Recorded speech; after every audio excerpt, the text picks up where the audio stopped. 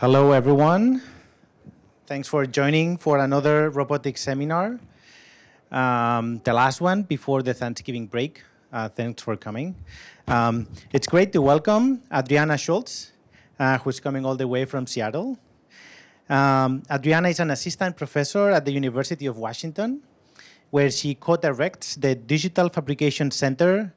And uh, in her group, she builds um, next generation design tools for manufacturing and fabrication of physical artifacts. And um, she's also the director of the Women in Computer Graphics Research Program.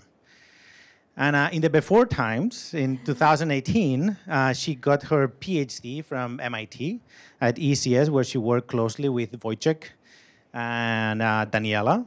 And I worked um, in many things, but the more, some of them um, having to do with um, interactive robogami. Um, uh, she was recently selected as one of the top innovators under 35 by MIT Technology Review for her work on computational design and for developing, and I'm quoting, tools that let anyone design products without having to understand material science or engineering. I don't know if there's a material scientist in the room. um, but in any case, thank you very much, Adriana, for coming, for taking time to come back home to MIT, and uh, for visit us at the robotics seminar. Um, we're eager to learn more about um, what have you been uh, up to. Thank you. Okay. Thank you. Um, thank you so much for, for having me. It's, uh, it's really a great, great pleasure to be here, to come back home. Uh, and this is the first time I am giving a talk in person in two years. So this is really, really special. Um, and so I would love to make this a conversation. Uh, since we're here and it's live and it's in person, uh, please interrupt me at any time with questions, with comments. I really, I really want to hear from you. Um, so today I want to talk about robotics for the next manufacturing revolution because this is the robotics seminar. But I want to start with a disclaimer. I'm not a roboticist. Okay, um, but I do a lot of work that is interdisciplinary and has a lot of applications and collaborations with robotics. Um, and I want to tell you about it. So what is it that I do? Well, I work on computational design for what we're calling this next manufacturing revolution. So what do I mean by that? Well, most of the products in our everyday lives are still being manufactured in industries that kind of look like this, right? They're industries where there is automation, but this automation is restricted to short and very repetitive tasks. So we end up with long production lines that output products in mass. However, this is changing. And it's changing because we now have machines that can handle end-to-end -end manufacturing, like 3D printers, that can do things that are really versatile and end-to-end, -end, flexible robotic systems, end-to-end knitting machines. All of these tools outline the potential for a big change on the products that we create. It's much more than increase of productivity. This is fundamentally changing what we can make and how we can make it. So what do I mean by how we can make? Think about a multi-material 3D printer, where you can specify the material properties at each individual part of your shape at an incredibly high resolution. What that means is that we can create objects that behave very different from anything we've ever managed to create in the past. We can embed electronics in soft sheets. We can have new sensors right, in textiles. So this is a much larger freedom of form, a freedom of what we can design. And I think this is really exciting. But it's not just about what we can make. It's about how we make it. So if you look at the new devices for digital manufacturing, well, that's exactly what they are. They're digital. What it means is they have these programmable abstractions. That is, the same machine can create a variety of different objects by changing the code. And I think this is really exciting because it allows this versatility, right? It allows batches of one production. So I envision a world, right, where because of these new uh, machines, we can, each and every one of us, have very complex, right, and one-of-a-kind, highly functional objects created for us on demand. And my work is building the computational tools that will get us there. So why does it matter for robotics? Well, I want to argue in this talk two things. first, I want to try to convince you that these computational fabrication, uh, these changes in computational fabrication can change how we think of and how we build robots. And then I want to tell you about some uh, challenges and uh, computational fabrication and how robotics can help push forward this revolution. So let's start with robot design. Um, let me just do one quick thing. Right. Okay. So let's start with robotics with the new manufacturing tools. So first, as I said, there's a lot of novel capabilities, right? So he, these are examples of soft robots, right? Uh, mechanical computing, embedded sensors, all of these new capabilities that we are able to do because of the novel manufacturing. But as I said, it's just about the novel capabilities. It's also about the novel workflows, right? When we design a robot, we typically need to think about the hardware and the software. And we think that the hardware, right, is usually bulky and this one big thing that we create once, right? But the software is easy to vary, right? We can customize the software after the fact. Well, with these batches of one machines, right, it turns out that now the hardware can be varied as well. And because of this, there's been a new push of thinking, well, when I want to design a robot for a specific task, I don't necessarily want to use an existing robot and customize the software. I can design the hardware as well. So in our group, we've been doing, so this is some of, of the Robogami work, we've done this work, we started doing this work on co-design for ground robots. So we want to concurrently design both the geometry and the gaits of these robots. We create robots by mixing and matching parts from a database to create the, the, the shapes. And then you can also select a set of gaits uh, that are suggested and compose them for this robot. The system automatically uh, computes uh, the metrics of how uh, the robot is performing. And if you have a specific uh, objective, it will also guide, um, show you how you should manipulate and change this robot to achieve uh, that specific objective. And you can also you know, run an optimization for that objective and get the resulting robot, which is a fab complete fabrication plan. So this is about designing objects that can be directly fabricated. The output of the system is a plan for a robot that is foldable and is uh, 3D printed, the electronics that you need to purchase, and also the software that you'll load directly into your microcontroller. So the robot behaves as uh, simulated in the system. And some examples of robots that we have designed and built with this tool. And of course, these are cute little toys, but you can also make you know, larger versions of it and embed them in sensors, have them uh, navigate an obstacle course. We've done some uh, follow-up work here, collaborators also at MIT, um, on creating uh, computational design of, of, drones. So here we're also co-optimizing, but we're co-optimizing the geometry uh, of the drones and also the controllers. Here is examples of, of results from, from that work, where we, by this co-optimization, we can uh, get a result that has a 33% increase in, in the payload capacity. And this is because the co-optimization actually tells you that you can do a change in the shape here so that now this propeller that before was not really being used can now be used. And then more recently, um, we had follow-up work with designing hybrid UAVs that mix propellers and fixed wings.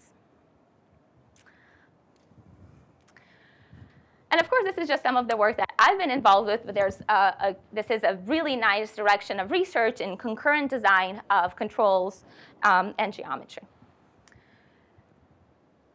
But I want to argue that, you know, the slide is really cool, but it feels kind of wrong, right? Because, um, yeah, you know, control is easy to vary, and now geometry is easier to vary, but it's easier, right? It's still not that easy. uh, hardware is still something that is expensive to do and change. So one of the things that we've been investigating more recently is, well, let's try to think of ways that we can customize the hardware, but maybe hybridly combine those with things that are off the shelf. So when we think of concurrent design for geometry and controls, right, we can think, well, on the one hand, I can have an off-the-shelf um, robotic arm, I'm optimizing the control for the different uh, manipulation tasks, or I can concurrently optimize the shape of the robot and the trajectory. Or you can do something hybrid. You can take a commercial off-the-shelf um, arm, but then combine it with a customized end effector. So this is an example of what we've been doing. We are concurrently optimizing the end effector um, and the trajectory so that we can pick and place um, different types of objects. And we can do cool things like, you know, objects that have uh, internal geometry that you can go in and you can uh, figure out that you have to do like a screw motion to pick it up and a, specific type of shape that can exactly like grab this, this, uh, this object through this uh, joint optimization. So I think this is a really kind of interesting direction to think about, right? Like this for, for, for co-optimization, how can we also leverage parts that, that already exist?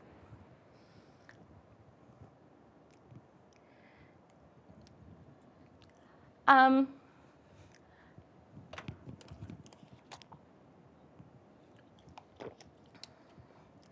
So as I said, so we have you know, novel computational tools can, can change the way that we think of how we build robots, the types of robots that we build or how we build them. Uh, but on the other hand, I think there are also a lot of interesting open problems uh, that robotics can help solve in computational fabrication. In particular, if you go back to this slide, right, we said, well, you know, hardware is easy to vary, but it's really not that easy. And it can be made easier. Um, and I think there's really important advances in, uh, particularly in mobile robots, um, that can make this happen. So one of the things that I think is really challenging with fabrication um, is that a lot of our tools, right, they are um, they're static, right? Um, and that means that there's a fixed scale, right? Like he's a 3D printer, there's a fixed print volume. Um, they're linear, right? You can't uh, parallelize it really well. Um, and it's in a fixed location. For, for example, if you want to use robots to create buildings and things like that, you want to have robots that can go into specific job sites, right? Um, and particularly in, depending on, you know, if you want to um, afterwards have to uh, transport uh, objects later on, right? Just having the robots there, building makes it a lot easier. These are parallelizable, they're flexible. Uh, so we've been doing some work also in building these kinds of mobile robots for fabrication. So this is some of our, our past work in creating um, teams of robot carpenters that can you know, take pieces of lumber, chop them, and then some of our most, and then of course you can assemble this later on, some of our more recent work in creating, designing robotic jigsaws where you're combining different functionality of creating the holes and then uh, the cutting tools. So you can create this uh, non-holonomic, um, uh, use these non-holonomic tools, but do that uh, uh, flexibly, just you know, bring those objects to a job site. And of course, there's, I think, a lot of uh, interesting directions there. So hopefully, in this first part of my talk, I have convinced you that uh, computational fabrication is really cool. There are really interesting open problems in the space, and it really matters for robotics, and they're really fun and cool problems to solve. So now I want to spend the rest of this time telling you how to do it. Um, before I go on, I'm wondering if there are any comments or questions, or it's a good time. Yes, please. Maybe a bit of a simplistic one, but you were mentioning uh, you optimize the geometry for certain goals within the uh, code development software. What kind of goals generally do you put? Is it like a performance metrics or? Yeah, it's a performance metric. So you have some goal or some, for example, for the drones, it was you know how much payload capacity or energy consumption, or for the the, ro- the the ground robots is following a given trajectory or things like that. Yes, always optimizing for a given performance metric. Or for the grasping, right? It's like uh, not colliding, no self collisions, right, with the the shape and the and like being able to take the load, that kind of thing. Mm-hmm. And I'll talk about that right now. It says, so thanks for the question because that's exactly my next slide. Uh, so how do we design things, right? So how do we solve these problems? Well, how do we do computational design? Typically, um, we have some performance goal, right, uh, that we want to achieve. So how do we do that? So imagine that you have a robot that you want to create, right? You need to specify, as we said, the geometry, the controls, um, like the electronics, the software, right? All of these specifications define a high dimensional design space. Okay? So what it means to design? Well, design means to pick a point in that space, right? But how do you pick that point? Well, you pick this point based on what you want this robot to do. How do you want this robot to behave like once it's part of the physical world? So is this robot going to walk? And if so, how fast does it walk? How stably does it walk? Or how does this robot react to an external force? Or you know, cost, how much money I need to spend if I'm going to build that robot, right? So to answer your question, this defines a set of performance metrics or a performance space. Right? So design in, under this abstraction means to select points in this space, right, based on how it maps, right, to the performance space. Or it means to solve an inverse problem, like given some idea of what you want to achieve, right, how do you find a design that achieves that goal, right? And solving these types of inverse problems is really hard, right? For many reasons, right? First, like this design space is usually very, very large, right? Hard to represent. Right?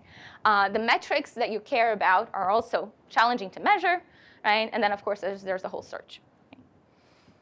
So how do we go about doing that? Well, there are a few steps. So the first thing that we typically do is we try to find a good way to represent this design space with a nice reduced and compact representation, right? That makes it easier to search. The next thing that we have to do is to find good ways to measure the performance right? With efficient algorithms. And then finally, we need to search. Um, so I want to spend the rest of this talk telling you about some ideas that we've been investigating in these um, three uh, areas. So let's start with reduced representations. So first, I want to say that good representations are typically problem specific, right? If you understand something about your problem, something about the geometry of your problem, about the physics of your problem, you can usually do really well about creating right, the right representations. And this happens a lot in our field in computer graphics, right? Like you want to represent this shape as a voxel grid, you want to think about it as a mesh, you want to think about it as a point cloud, signed distance, whoops, signed distance fields, right?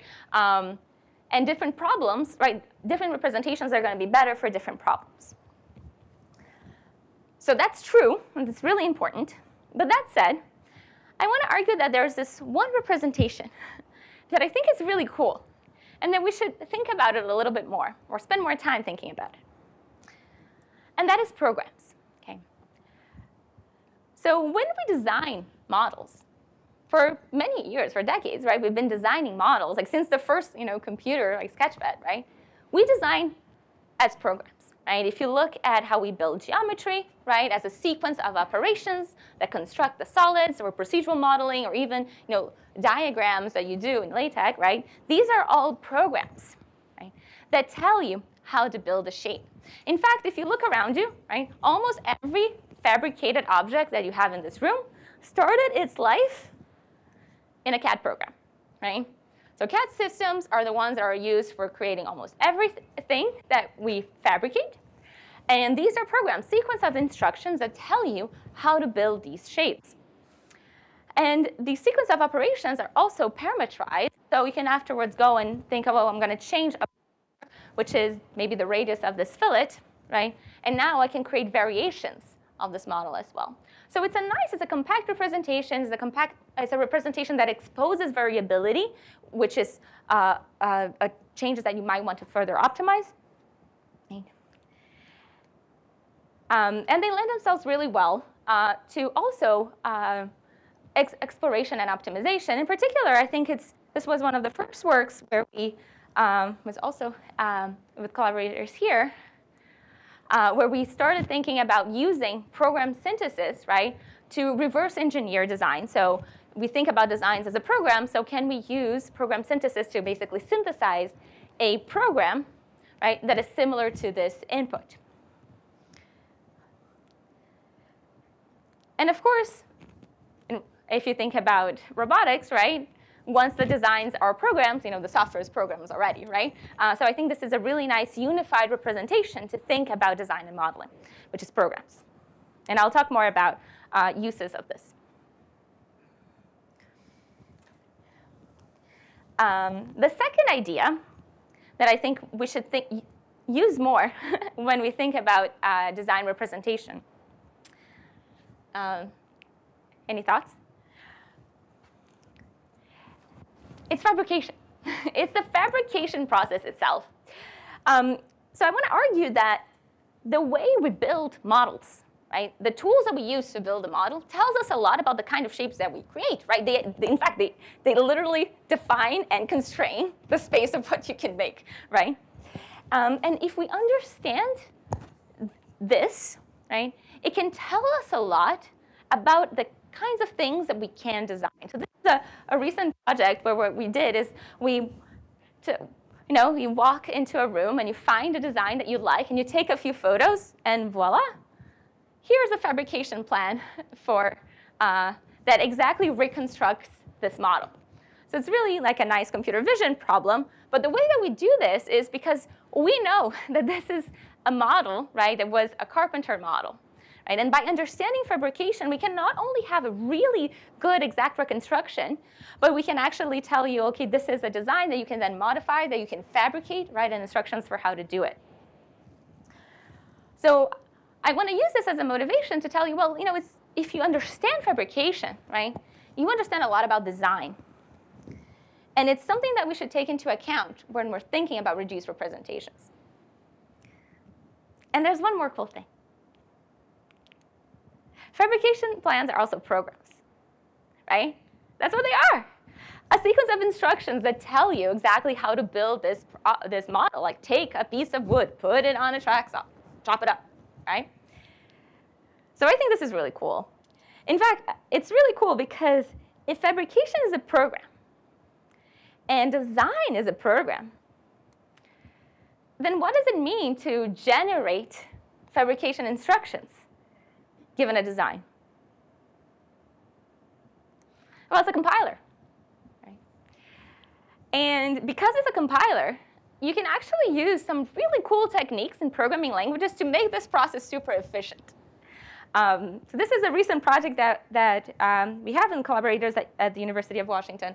And what we've been doing is understanding fabrication and defining hardware abstraction languages so that we can do this kind of compilation.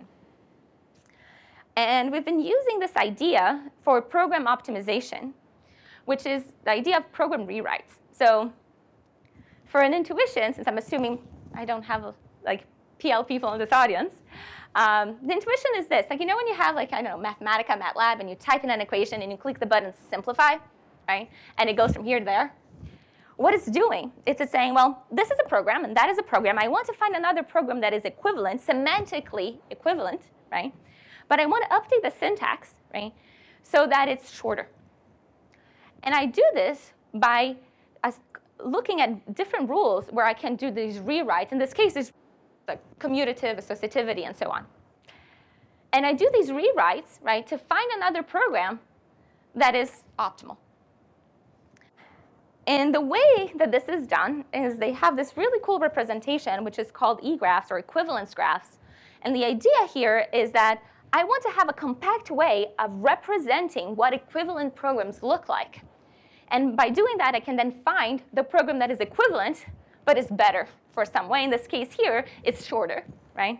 But in our case, it's the program that is the optimal fabrication time, or the optimal fabrication error, or the optimal material cost, right? Um, so this is an area that I am super, super excited about, um, thinking about developing hardware abstraction languages for fabrication. I think this is something, right, like instruction set architectures revolutionized computer science uh, many decades ago by creating this layer like of understanding software and hardware, right, allowing us to make progress both in the software and hardware domains. Um, and I think something like that, you know, is asking to happen in the fabrication domain. So I'm, I'm super excited about these ideas. Um, okay, so again, I'm not saying that these are the representations for absolutely everything. Looking at problem-specific uh, representations is still really interesting. But I would encourage you to think about programs and fabrication if you're looking at good reduced representations.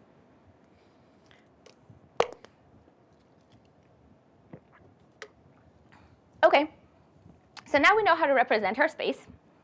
The next question is, okay, how do we measure performance? So you have your design, maybe a CAD model, and you want to evaluate how it's going to behave like once it's part of the physical world. And that can be, you know, can take a lot of time, can be computationally pretty expensive. But then you want to use that feedback to go back and update your model, right? And you want to do this again and again and again. Um, so you want to have a way to do this efficiently.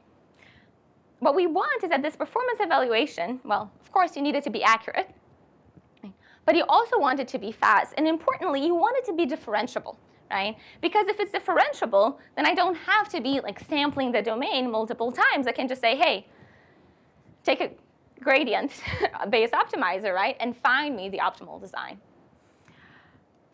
So differentiable simulation is a really exciting area, and there's a lot of people in this room working on this and doing really cool stuff. um, and I think this is, this is really, really interesting. And these, uh, these methods are both looking at uh, understanding the physical models, right, and also learning uh, to make it really efficient to create uh, evaluations of performance that are differentiable. One of the things that we have been uh, exploring in this domain is uh, how can you do this for CAD? So as I mentioned, I think that thinking about representation is really important. In fact, program representations and program-based designs are really a great way to have generality, right, of the kinds of things that we can build. But these kinds of representations don't lend themselves really well to this kind of differentiability. And let me show you as an example. So this is a really, really simple model, right, designed in CAD. And the, we were talking about this earlier, right? The promise of parametric CAD, right, is that I can say, well, look, um, I want to make this a little bit thicker, so I'm going to like change this height and this distance here, and voila, it works, right? But it works because I know this program really well, and I tweaked these things together in a really nice and efficient way. Because if I had gone there and just said, let me change this height of the chamfer, I would get this model that is completely meaningless. And even worse, if I had just changed this height of the box, then I would get an error. What this is telling me is that I cannot execute a certain function and then the functions after that don't execute because they refer to things that happened in the past and they're no longer there and I'm completely at a loss, right? Um, so we've been doing some uh, work now of trying to understand like how can we create CAD languages that are differentiable by modeling what these references should look like right? and creating ways that like given a geometry and features of this geometry, I can compute the program, the parts of how, uh, uh, an algorithm, the program that will, that's generating uh, that piece of geometry and actually differentiate uh, the program with, like, with the parameters of the program, this geometry with respect to the parameters of the program, sorry. Um, and this is super cool because now I can go and say, well, if I want to change this model, right, I'll go and edit this for a little bit. I can now figure out what is the program that would give me this edit by doing an optimization because I have a differentiable code. And voila, here are some examples of how you can change this model but preserve the structure. This model doesn't break, and uh, it's optimizing based on some other you know, kinds of geometric uh, energies here. Here's an, so here's a, an example of this um, uh, the system. So you can go in, you want to change you, you, say, you say how you want it to change, and then uh, it optimizes for you using these uh, differentiable programs.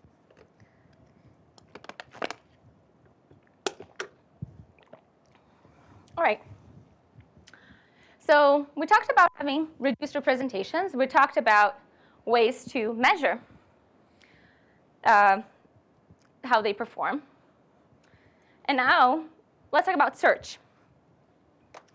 How do you do search?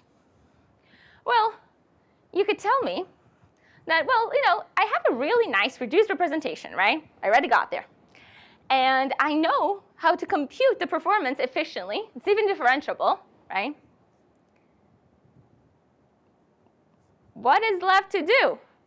Throw it into your favorite optimizer, right? And My students love to do that, right? Get NLopt and like try every single one or just go to LBF, whatever, right? Just throw this into your basically gradient descent optimizer and you're done, right? And in many cases, you are. But I think there are really interesting aspects of particularly design uh, optimization that make search methods a little bit more tricky than just, you know, gradient descent. Um, and I think these are interesting areas to explore. And there are two things that I think is interesting about this kind of problem. Well, there's more than two, but I'm only going to talk about two today. Um, here are the two. Um, the first search challenge is that typically you have more than one objective, right? So you have, again, this is a design of that camera mount, but now I added a bunch of holes, right? So that I so I have a parametric model with the size and shapes of these holes, right? And this defines a nice design space, and I'm trying to minimize that weight, right? But of course, this is a camera mount, so when I put the camera on top, I want to make sure that this object doesn't you know, deform with the weight of the camera. So now I have this other metric, right? And these metrics are typically conflicting, right? Because if I take you know, two models here in my design space, right, one of them will be will deform less, but it will be heavier, right? And the other one will be lighter, but also will deform more. So in fact, we don't have one optimal solution. We have a landscape of optimal solutions that we want to find. So it's not really just a single objective optimization. You have to find these multiple, uh, uh, multiple solutions, right? That is this landscape of trade-offs that you can create. This is called the Pareto frontier. So this is one of the challenges, right? Your optimization. It's multi-objective. The second challenge is that these optimizations are multi-level. So what do I mean by that? Um, so imagine again that you want to design your ground robot, right? So you need to design the geometry and you have the space of shapes, right? And you want to design the gait and you have your space of gaits, right? So it's a really large space because you need to search both in the shapes and the gaits. So you can say, okay, I'm going to define this joint space right, of the shapes and the gaits. And fine, it's large, but it's okay, it's a big space, and I'm just to go and search it. Well, why can't you just do that? What's wrong with this? What's wrong with this is that this, this space of gaits, like, what is that, right? Um, and it doesn't really exist because the space of gaits is different for different topologies, right? So I have this robot and I can say, okay, like for this specific instance of the shape space, I can tell you what the gait space looks like, right? These are the different gaits that I can get for this robot. But the gait space is not defined, right, in this upper level problem. And, and this is what I mean by multi-level. You have these nested loops. You have an inner loop inside an outer loop. And necessarily you have that right? Um, and the reason why you have that is, is this, is that because the constraint space, the space that you search is non-defined in the outer loop, okay? So this is, this is the reason why it's tricky. It's not because there are two domains, right? And it's large. It's because necessarily they are nested, right? This idea of this, the constraint region is undefined. Um, so I think that these are really cool problems to, to think more about, right? First, this idea of how do you deal when things are multiple objectives and when they are uh, multi-level.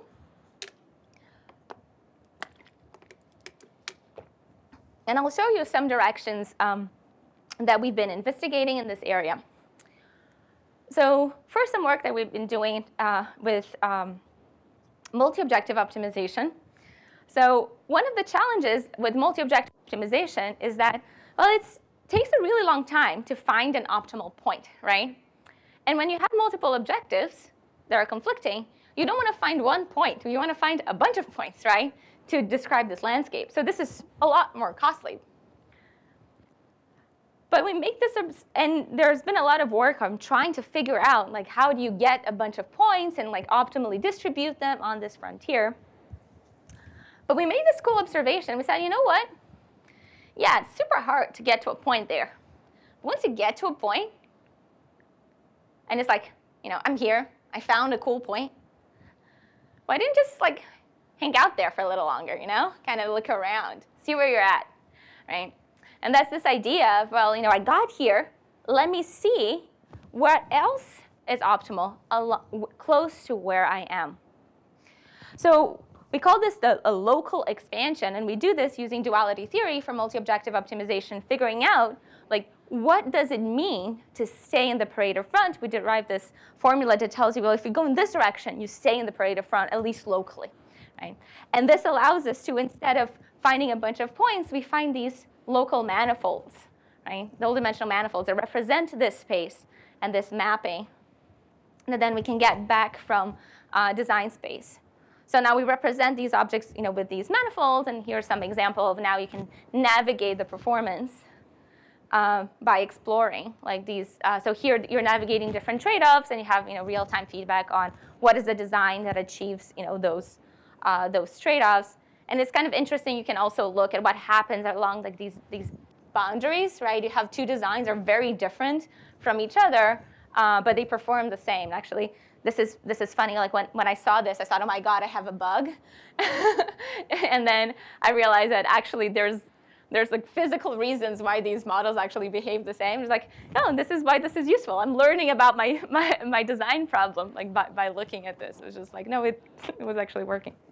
Um, and more recently, we've been uh, expanding these, uh, these ideas uh, to uh, handle multiple contacts. So here the idea is that you have a few objectives that you really want to optimize, but then uh, there are other uh, parameters uh, that are varying.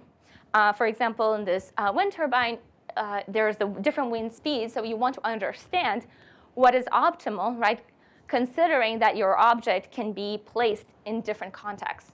So we're also looking at algorithms to do these expansions when you have objectives that you want to optimize, but then other objectives that you want to explore the diversity across it.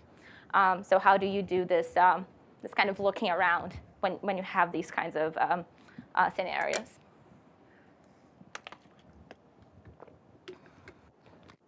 So let me tell you a little bit about multi-level problems um, and ways to, to address it. So I'm going to show you two different case studies. I think this is a, a really exciting area that, that requires further investigation. Um, one example here of a multi-level problem that we've worked on was the idea of finding CAD models to match a given query. So I have a database of CAD models right, that are parametric, right? They have the parameters of the CAD program that can change. And I want to find the model that is the closest as possible to this query. Why is this a bi-level problem? Well, it's because I want to find the match of what shape it is but also how to tweak the parameters, right? So um, this is a motivating example. Like if you look at these two models, you might think that the shape on the left uh, is the closest one, right? Uh, but if you understand how the parameters can vary, then you notice that, in fact, the shape of the right is the most similar. So this is a bi-level problem. Usually you have to go and look at every single shape in your collection, right? The inner loop is fitting the parameters to your query shape, and then the outer loop is finding the best match. So one way to address this kind of bi-level problem is to say, well, maybe we can create a joint embedding. So here, uh, we say, well, this is a retrieval problem, right? We can create a descriptor for the space where every single model is a point in this descriptor space, and I can find the closest thing to the query once I have this embedding by doing a nearest neighbor search. And this is cool because now, well, what happens if I have a parametric shape? Well, if a, if a, if a, if a shape is a point in the descriptor space, a parametric model is going to be a manifold, like a low-dimensional manifold embedded in this descriptor space. And they can have different dimensionalities, and they will have, right? Because these different models have different number of parameters, they vary in different ways, but that's fine. It doesn't matter, right? Because it can still project them into that space and then do a nearest neighbor search. So this is a really nice way to handle uh, a, a bi-level problem. And you show here that you know these are some examples of retrieval, how we are comparing um, in the bottom, like our method, to you know, not uh, just finding a fixed mean shape that is not really also optimizing for the parameters. And it's actually interesting in this case, you know, we don't even find the right object from the same uh, category. But if we can uh, do this uh, bi-level search, uh, we're able to find the result.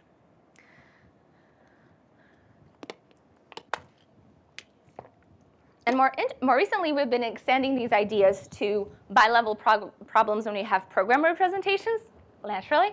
Um, so here's a, an example. This is a, a follow-up work on that carpentry compiler that I showed. And what we've been doing here is, well, before we had this compiler, right, that given a shape, right, could optimize for the fabrication plan. So these fabrication plans, as I mentioned before, they are programs, right? And this is also multi-objective, so I have you know, my Pareto frontier of the different trade-offs of programs for this specific design. And I do this uh, with this program optimizers that I mentioned before, these equality graphs. But what happens if now I want to consider changing the shape as well? So I could also change this design to a little bit different. So you notice here this chair is, has some difference in the way that the joints are created. Right? And by doing this variation, I can actually get designs that, or fabrication plans that outperform right, what I could do with the original design. Right? But again, this is a bi-level problem because now I need to, the, the types of fabrication plans that we can generate for any design is completely different, right? The space that you can search is really different. So you need to necessarily have these nested loops, which is very challenging, particularly because everything here is discrete, right? But we go back to this idea that you know, fabrication plans are programs and trying to use these ideas from programming languages that say, well, you know, these are all different programs, right, that I need to search. But if you notice, there are some similarities along these programs. There are similarities between parts that are shared across programs and even within the same program, right? And these similarities are really useful uh, when we try to treat uh, when, uh, these uh, equality graphs or these ways to represent equivalent programs. So equality graphs, as I was kind of hinting to before, uh, I'm not going to go into the details. I'm happy to spend hours talking about them offline if anyone is interested in e-graphs. Um, but uh, the key idea here is that you have these designs, right? They, they have something in common that they share. And this e-graph is representing all of the different programs that you can cr create with this uh, for fabricating these geometries. But the point is that there's a lot of similarities, and they're only represented once. And this is a compact representation. And what we did here is we explored this, the, the fact that you could do that at multiple levels of your optimization. So we can represent this compactly. Um, and this is some result of you know, this bi-level optimization with, with eGraph. So we can, even for complex models, right, we can find uh, designs that outperform uh, an original design in terms of optimizing for fabrication. Okay,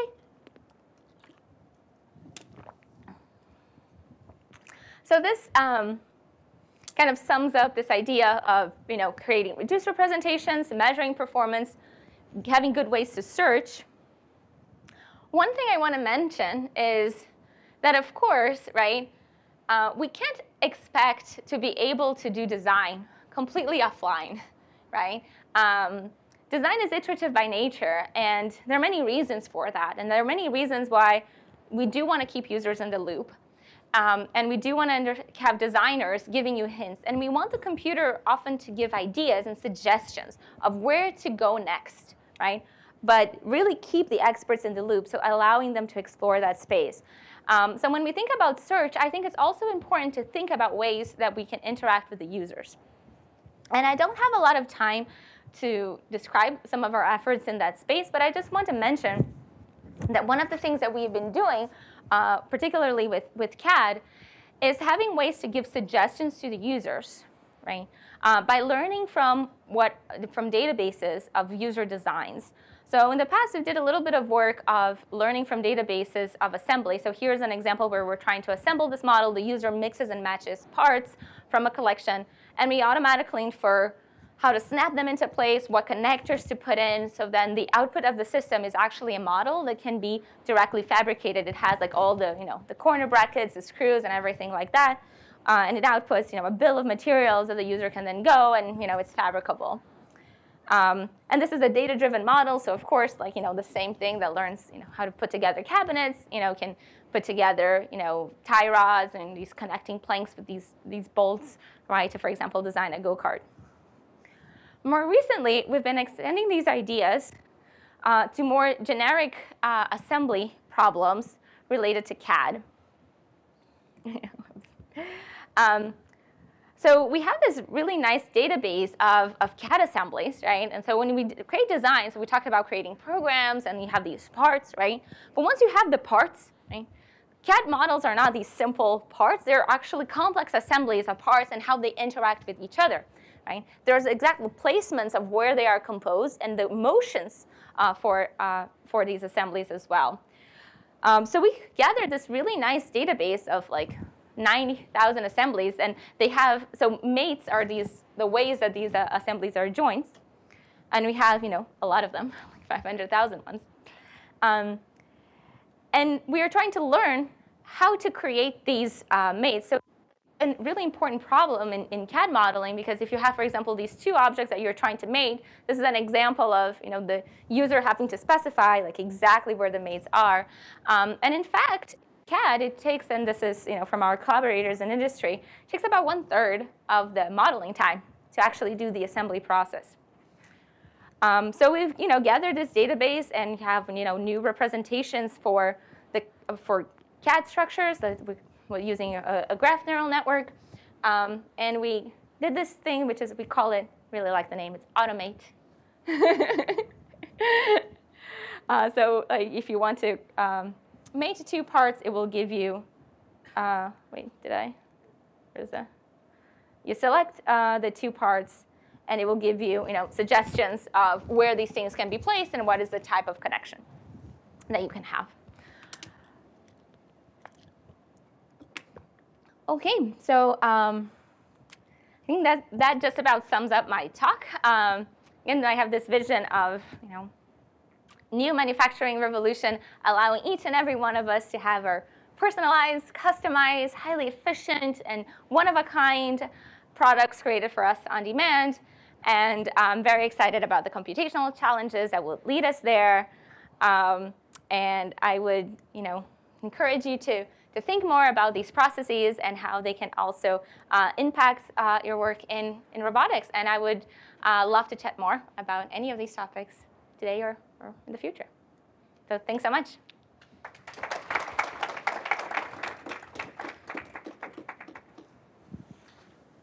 Any questions? Hi, thank you for the great talk. Um, so I, I, think you you stated this pretty well, but people under underappreciate how uh, um, important constraints are when you design stuff. Like a rookie mistake is, you know, you put a hole, you got to assemble to screw it in, but you didn't leave like the free space, and that's a really nasty constraint. So your feasible set is like super um, topologically disconnected and weird. And you know, so wonder um, during your search procedure, how does your search um, algorithm um, respect these kind of constraints, especially with gradient-based solvers? That's right. Um, so you mean so well?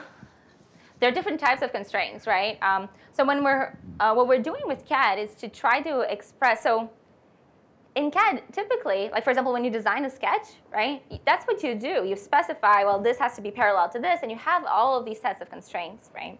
And as you said, um, as you change the topology, right? These constraints completely change, right? Um, and there are uh, important discontinuities there, right? Um, so it's almost as if um, it's it's a really great question, and happy to chat more online offline because it's you really nailed it. So so basically, what happens is that it's almost as if you had two functions, right? Like so, it's not just that it's discontinuous. It's like it's a completely different function with completely different variables when I change from one topology to another because I change the constraints, right? So it's like if I, in one configuration, I have, a, say, a fillet here, right? And the other configuration, the fillet has disappeared. And because the fillet has disappeared, now the constraints are completely different because I don't have constraints with that fillet anymore. It doesn't exist, right? Um, yeah, so so what, what we are, we've been doing is thinking about, you know, using formal methods to get understand how these representations are changing, right? And then use automatic differentiation. So you have basically an expression that tells you with ifs, right? Um, yeah, it's, it's a great question. It's, it's a really interesting problem. I guess. Thank you.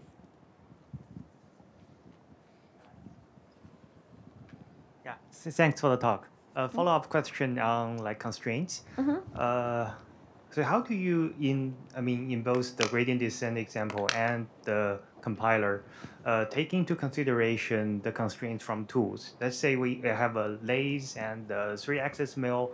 I know there are certain shapes that I cannot make with these tools. Uh, so how do you consider those constraints in the uh, in the optimization? That, that's a really good good uh, good point. So, um, not claiming to have solved all of the problems. Um, I think there's there's really room for understanding. For example, for example, even things that we've been looking at but we haven't really solved. For example, when you want to design something that can assemble, you need to make sure that you can actually insert things or that you can fit a tool in there and so on and so forth. So we haven't dealt uh, with these assembly constraints yet. For the specific question about the tools, um, in the carpentry compiler, we have a domain-specific language for the design and the fabrication, and our DSL is like, it's CAD-ish, but it's not really CAD. Um, it's a subtract, it, it, also, it also understands that you're building this out of wood.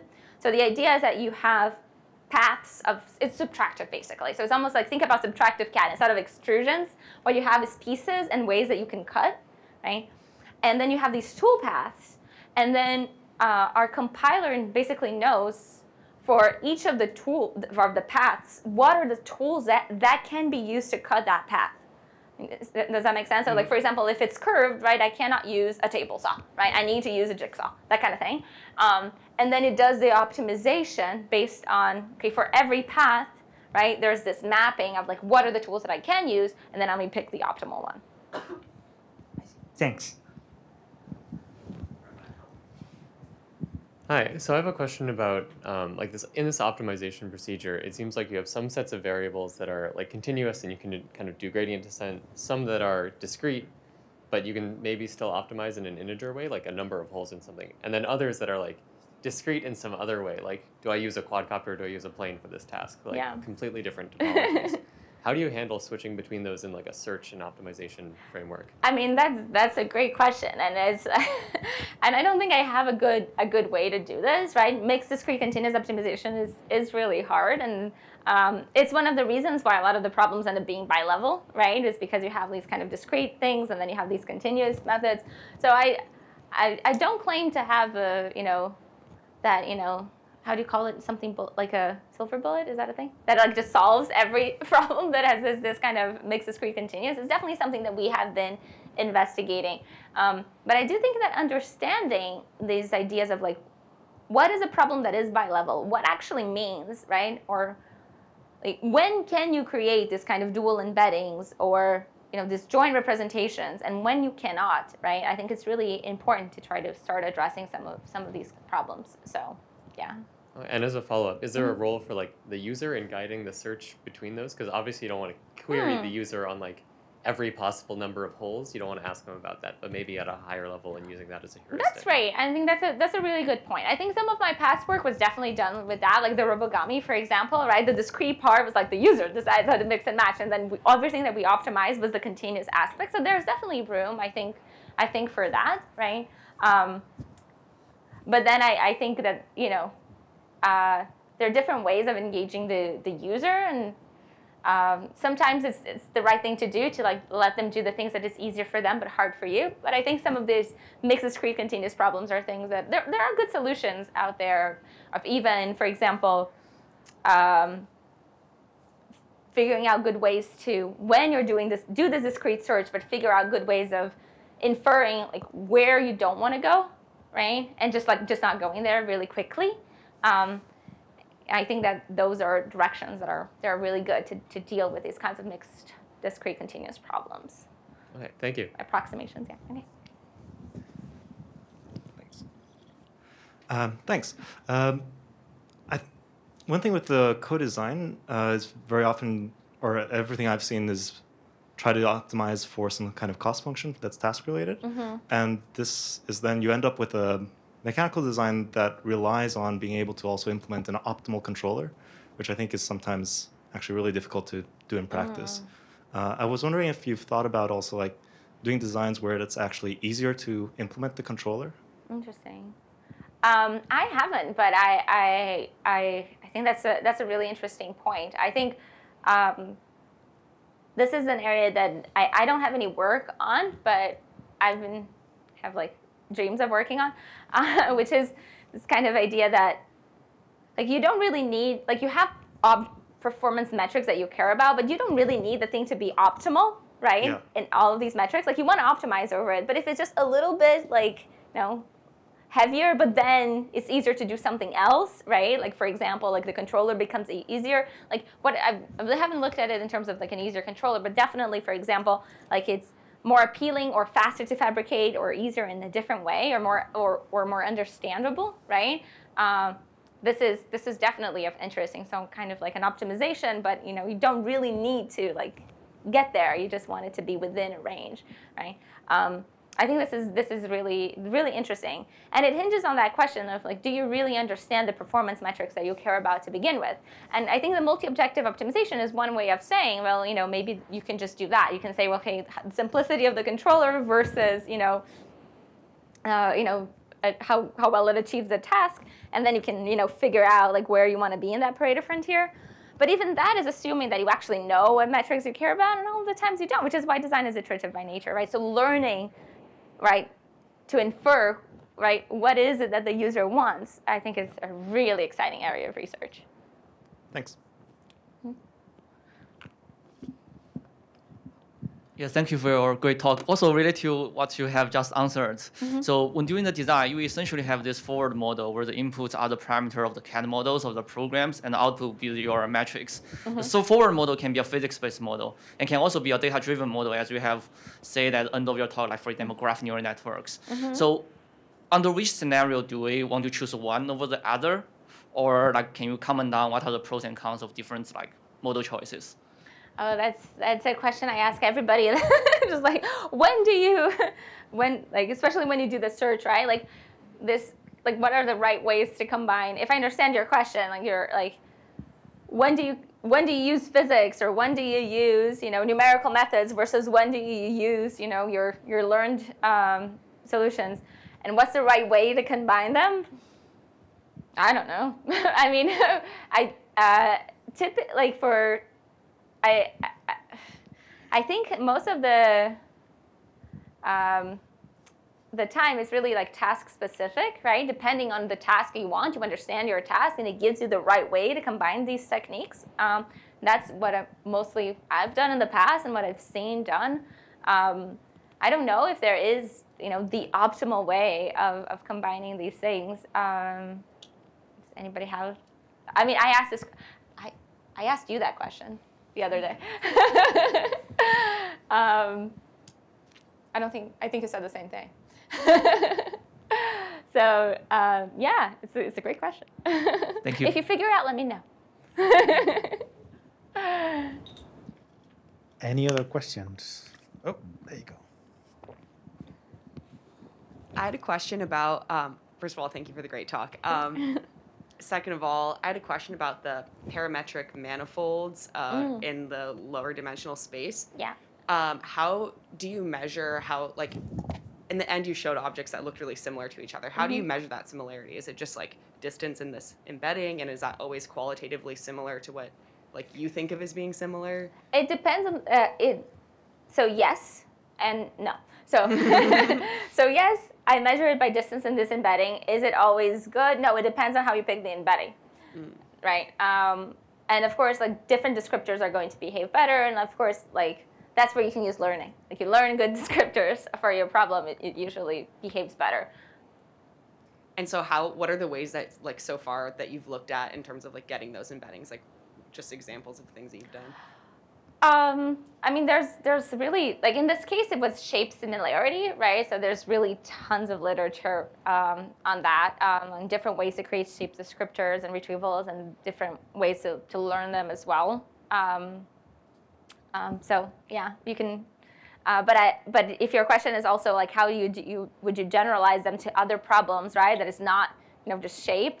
Um, I think it's uh, it's interesting. It, it, it is a hard question. I, I was talking to some some collaborators in industry that are trying to apply this to uh, these kinds of techniques for similarities in in CAD, um, and I think it's the, the hardest questions is what is the space that you use for embedding, and it's it's really hard. And, and I really do think that the best way to do is learn them. Cool. Thank you.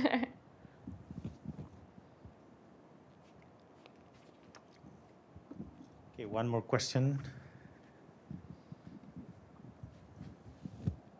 Maybe ending on potentially a less interesting question on this front, but I'm I'm sort of curious what drove you towards considering sort of a carpentry approach uh, in selecting the tools and the and the um, fabrication methodology for this sort of, rather than when you started out sort of looking at the 3D printing, which I guess when I think about intuitively, I think about when you're trying to do this optimized design, 3D Right. printing seems like the low hanging fruit, I guess. Right. I mean, I think car- the reason why I like carpentry, and you can tell I do a lot of carpentry, um, is um, I think it, it has, it's, it's like the right level of complexity. Like the 3D printer is great, but it has too much freedom, right? It's really like the best representation for a 3D printer, for most 3D printers, well, I'm gonna take it back. But a, a good representation uh, is just voxels, right? Um, um, right? It can just tell you like you actually can create. Um, and then there are other uh, tools that I find that are a little bit too complex, right? Like if you're going to do electronics all of a sudden, right?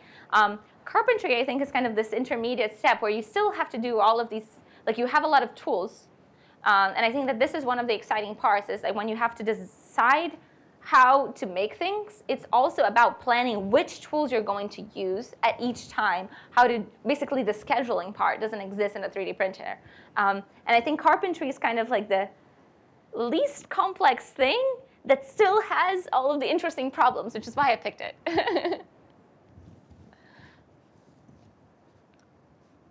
In, in that process of codifying carpentry, um, have you encountered a situation where, through the experience of codifying it, you you you said, "Oh, I wish I had this tool that doesn't exist." yeah, I mean, it's why we did the robotic jigsaw. Okay. but um, uh, I, I, I think that that is.